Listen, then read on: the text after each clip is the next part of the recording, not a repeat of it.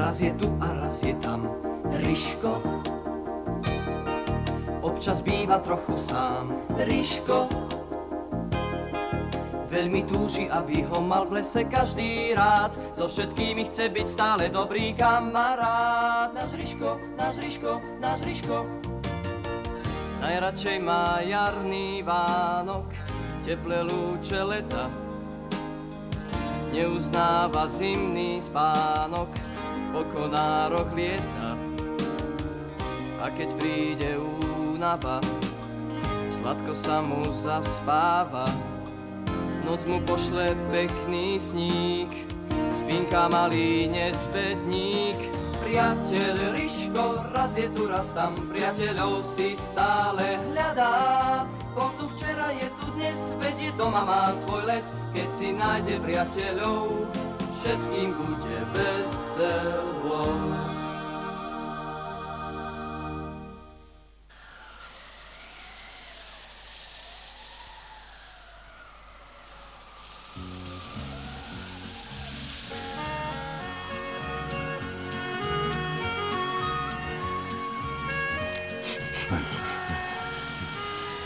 V lese, ktorý ľudia volajú Borovicová húština, žije, ako už vieme, veľká rodina veveričiek. Sem tam sa prirodzene stane, že tam zablúdia iné zvieratá, ako napríklad istý, po okolí sa túlajúci dikobraz.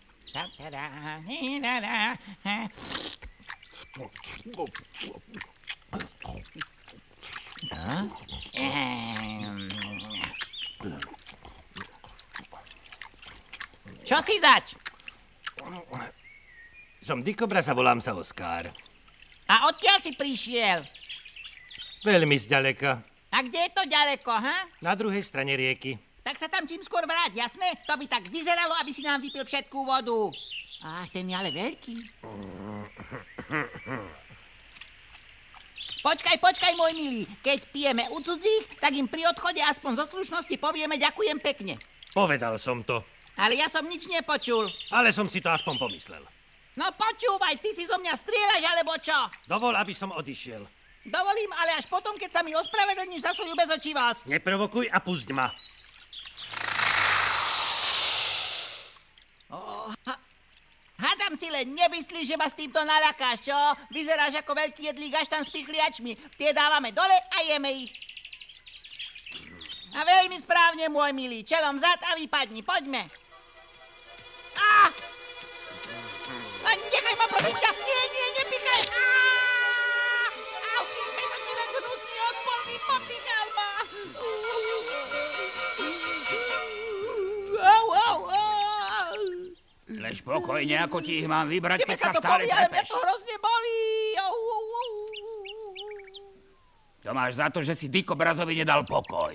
Veď som mu nič nespravil. Au!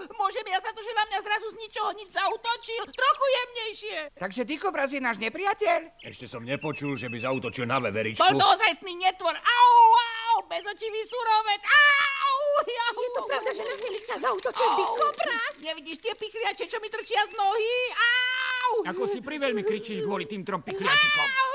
Takže ty si sa už so Skarom zoznámil však. Ty ho poznáš? Nebezpečný? Pravda, že ho poznám. Odjak živa to bol násilník. V podstate ho nikto nemá rád. Vždy sa všade snaží udomácniť, ale bez úspechu.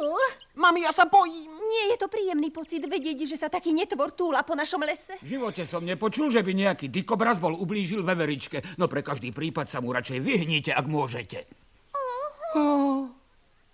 A Ninarsko, Klej, počul si ma? Budem len na krajičku, to môžem, nie? A čo spravíš, keď sa tu objaví dikobraz? Celkom som na to zabudol. A predstav si, že by ťa dopíchal ako Felixa.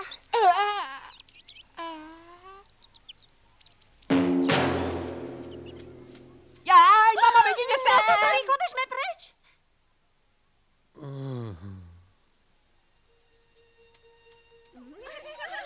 Ja, to je výborné. Chutí.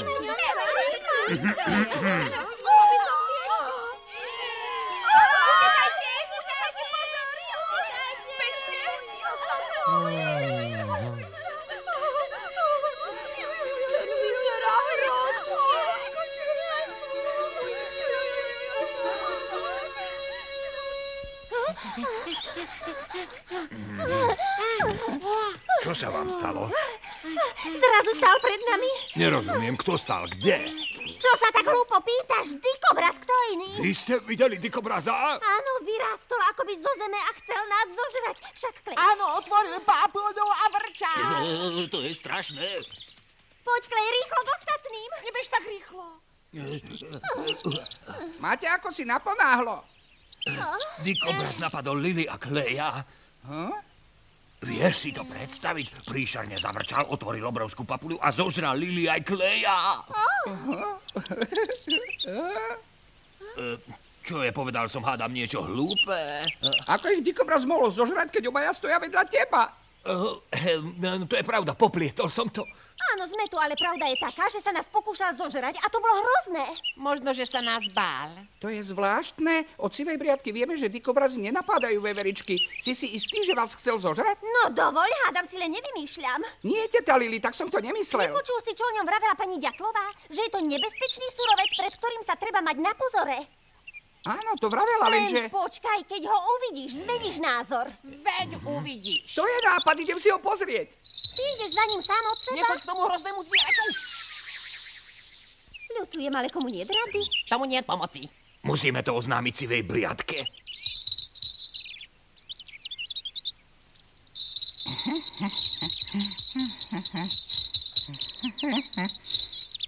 To je isto on.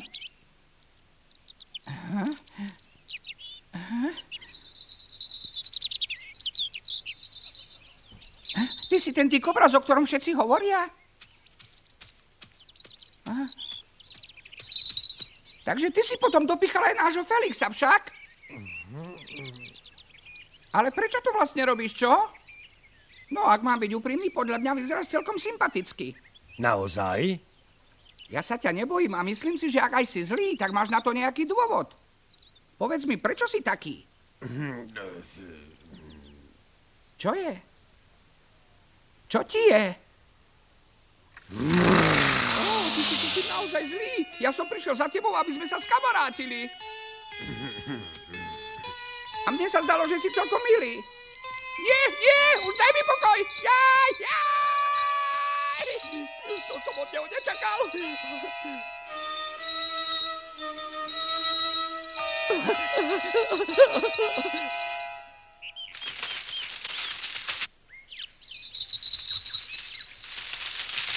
Ríšo, kam tak uháňaš? Ó, dobré ráno, stričko Vír. Len si predstav, dikobraz ma skoro dopichal, ledva som mu unikol. Čo ti je na tom smiešné? Oskar by také niečo nikdy neurobil. Si si tým istý, naježil sa a vystrčil pichliače, ako by ma chcel napadnúť. Napriek tomu by ti nebol ublížil. Nie, nie, stričko, ten teraz ti neverím. Veď všetci hovoria, že je to mimoriadne zlý a nebezpečný dikobraz. Uvažuj, Ríšo. Dobre vieš, že sa ma boja všetky veveričky, ale bojíš sa ma aj ty? Samozrejme, že nie, veď ty si môj priateľ. No vidíš, môj malý, a Oskarov príbeh je podobný nášmu. Už veľmi dlho nepočul od nikoho ani len pekné slovo, a tak aj on vyzerá ako zlý a zlomyselný, ale v hĺbke srdca je dobrák. Potom nechápem, prečo ma chcel popíchať. Čo na tom nechápeš? Veď som na neho ani krivo nepozrel. Niečo ti poradím. Choď ešte raz za ním a som presvedčený, že na to určite prídeš. Áno, myslíš? Určite.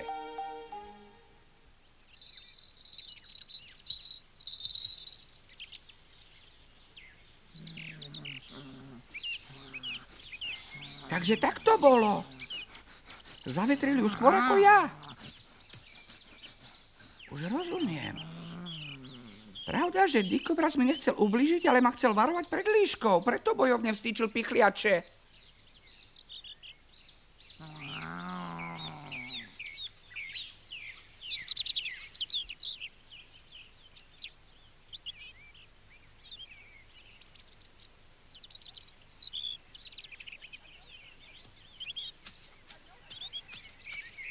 Počkaj, neodchádzaj! Prepáč, prosím ťa, nevedel som, že ma chceš varovať pred líškou. Ďakujem ti pekne. Vieš, keby si mi to bol nejako naznačil, ale to nič, aj tak budeme dobrí priatelia, však? Chce sa so mnou kamarátiť?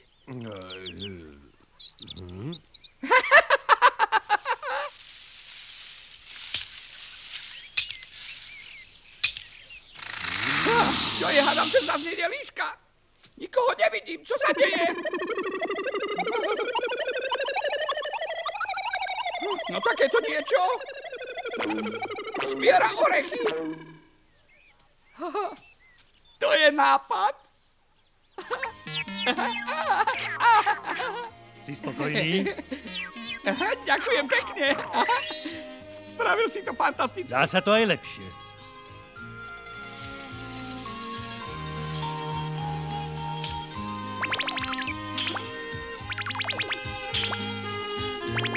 Naozaj je to oveľa lepšie? Hneď som vedel, že nie si zlý, Oskar, veď sa tak krásne smeješ.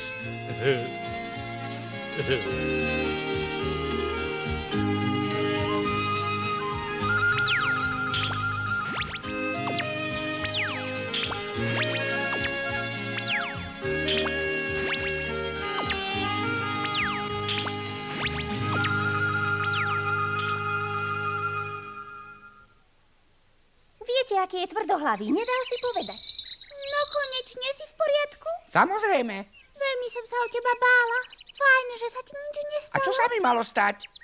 Lily nám povedala, že si sa vybral do lesa za dikobrazom. Aj som ho našiel. A my sme sa báli, že ťa už neuvidíme, že ťa dikobraz zožeral. Ako to zožral? No, možno ani nie, ale že si ťa poriadne podala, dopichal, kde sa len dalo. Viete, ako sa mýlite? Dikobraz Oskar je v skutočnosti dobrosrdečný a veľmi milý. Čo to znamená, milý? Že je priateľský, keď je k nemu niekto milý. My dvaja sme už celkom dobrí kamaráti. Ty a dikobraz.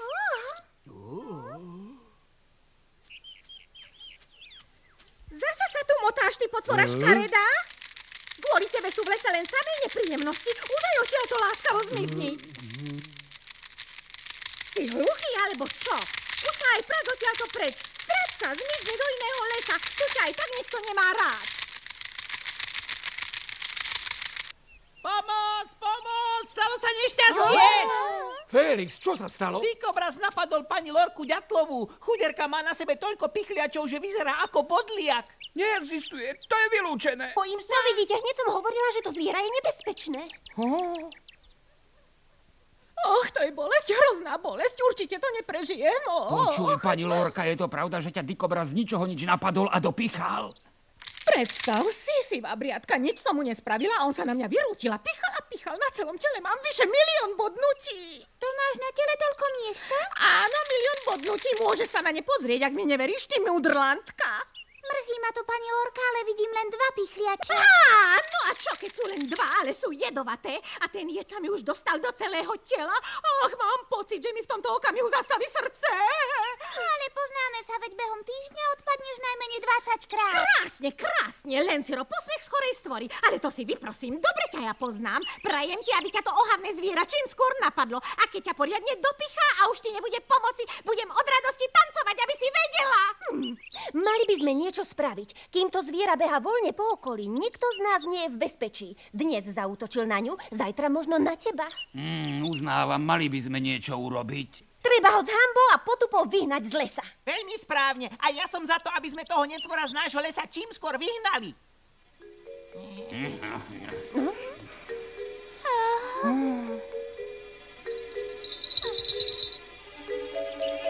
Aha, tu je.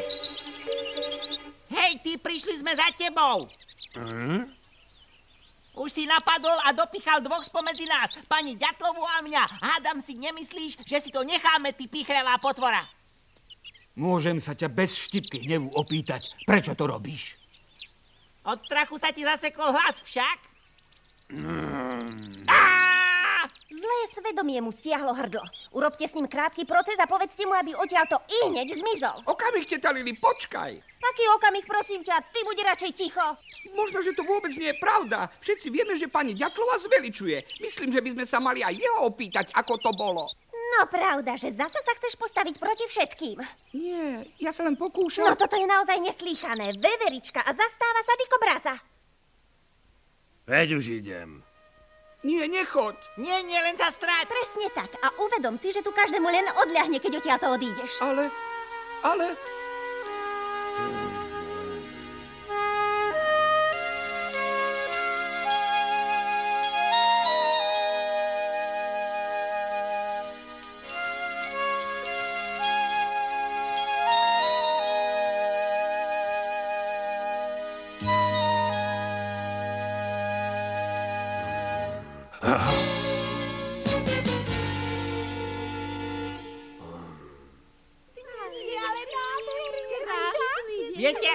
rád, že sme sa tej potvory zbavili?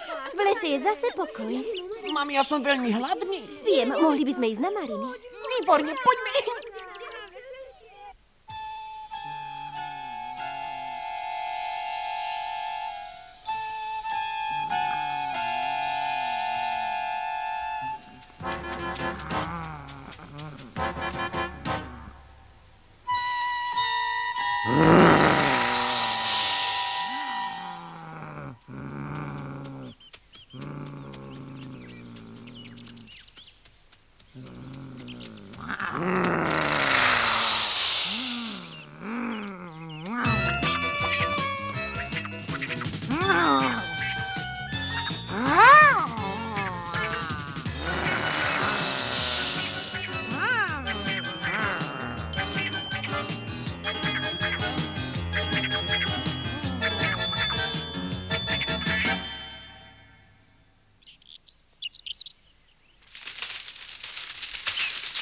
Milostivá pani, videl som, ako Dikobraz bojuje s líškou, len aby zachránil veveričky. Čo tým chcete povedať, pán Vír? To, že ste tvrdili, že je bezočivý a pritom je priateľský. No dovolte mieru milovný, veď ma napadol, nie? Prosím vás, prestaňte s tým klamstvom. Obaja vieme, ako to naozaj bolo, tak to prosím povedzte veveričkám. A ak im nepoviem pravdu? Urobíme to jednoduchšie. Ak im to nepoviete vy, tak im to porozprávam ja, moja milá.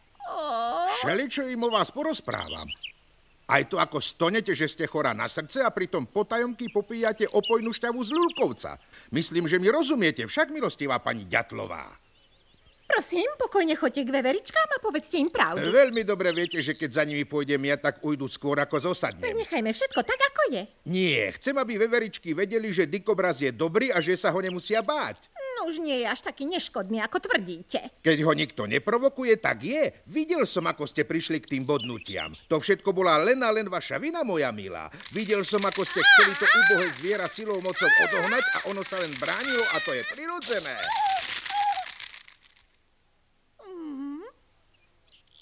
Nechcem vás unavovať výčitkami za to, že ste klamali. Klamanie vám nerobí problémy, pre vás je to maličkosť, ale vašim srdcovým ťažkostiam by určite prospelo, keby ste pre zmenu začali hovoriť radšej pravdu.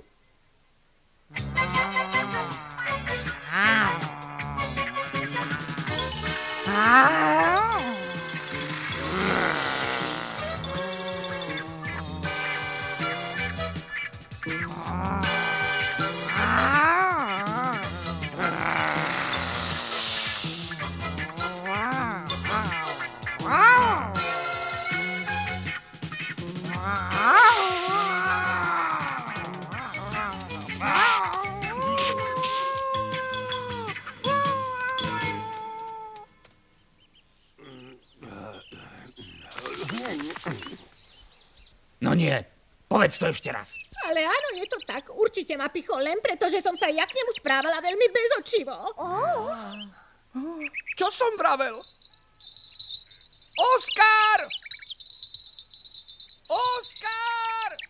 Mne sa to hneď zdalo čudné. Čo sa nám stane, keď budeme k nemu milí? Urobíme to tak, Áno. ako si nám povedal, deduško. Len či už nebude neskoro. Oskarovi sme jasne povedali, aby zmizol z lesa. Prečo hovoríš my, sivá briatka? Ty si ho vyhnal. No ty si ohromná, teta Lili. Ty si najviac kriekala, aby už aj zmizol. Áno, lenže práve ty, Felix, si nám natáral, že napadol aj teba, aj pani Ďatlovú. Ach, ja prázdna bukvica, ako som len mohol byť taký hlúpy. Odjak živa som bol proti tomu, aby sme jej verili. Veď už na prvý pohľad vidno, že má opierko viac. Asi máš pravdu, ale aj tak. Už váľať vinu na iného. Vyčítate si, kto je hlúpejší a líška zatiaľ usmrtí dikobraza len preto, že nás chcel pred ňou ochrániť. Sú má pravdu, moji milí. Nenechajme to úbohé zviera v kaši, nejakomu pomôžme.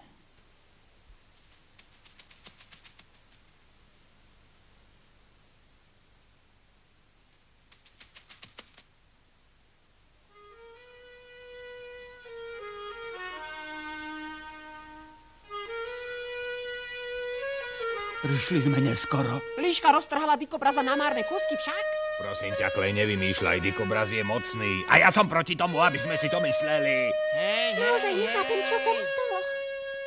Čo by sa mu stalo? Odišiel, lebo ste ho svojou nenávisťou a zlobou vyhnali.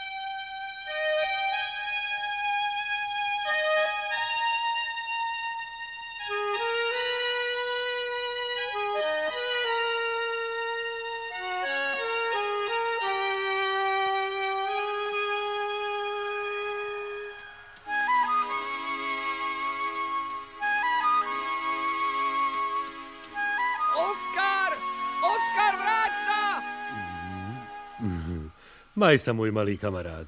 Určite sa zasa stretneme.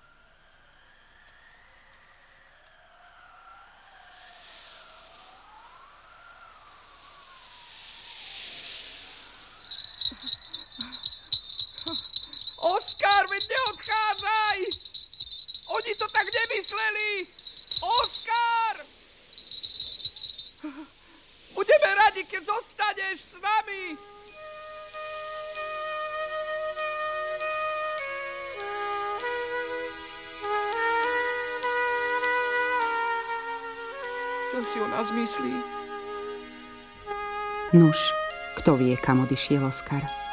To nevie nikto, ani Rišo. Ale keď si pomyslím na to, ako sa Dikobraz usmial, pocíti pri srdiečku bolesť. Dikobraz sa určite chcel s nimi spriateliť, bol však veľmi plachý.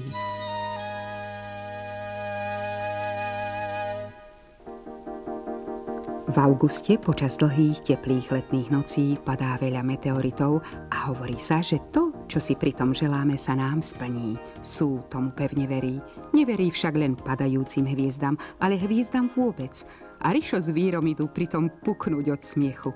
A keďže je to napísané vo hviezdach, malá Sú verí, že jedného dňa príde za ňou krásny princ s korunkou na hlave. No a toto padlo nielen Lasici, ale aj Rišovi rovno do lona.